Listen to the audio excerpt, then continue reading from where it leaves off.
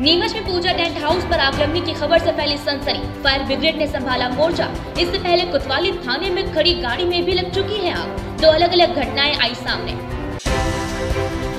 मध्य प्रदेश में 27 प्रतिशत आरक्षण पर सुनवाई आज। हाईकोर्ट में ढाई साल से चल रहा है केस। अब अंतिम फैसले की बारी। मध्य प्रदेश में कलेक्टर कमिश्नर कॉन्फ्रेंस आज। सुशासन व स्वराज अभियान पर बात करेंगे सीएम। माफिया के खिलाफ एक्शन की जानकारी लेंगे। देर शाम कैबिनेट बैठक भी।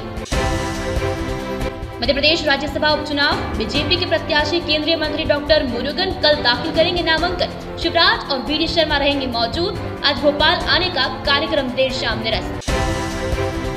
एमपी में रविवार को अलग अलग जगहों पर हादसों में डूबने से 11 लोगों की मौत। इनमें सात बच्चे शामिल हैं। भिंड सतना में चार चार और राजगढ़ छिंदवाड़ा गुना में एक एक व्यक्ति की डूबने से मौत, गणेश विसर्जन के दौरान हुए हादसे।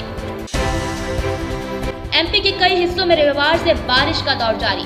नीमच, मंदसौर में छाए बादल। रुक रुक कर हो रही है बारिश। बाँध व तालाबों का जलस्तर बढ़ा।